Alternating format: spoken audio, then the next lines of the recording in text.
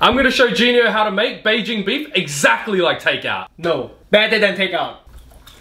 Marinated beef. Coat the beef with cornstarch. Oil in the wok. Now we dry fry the beef.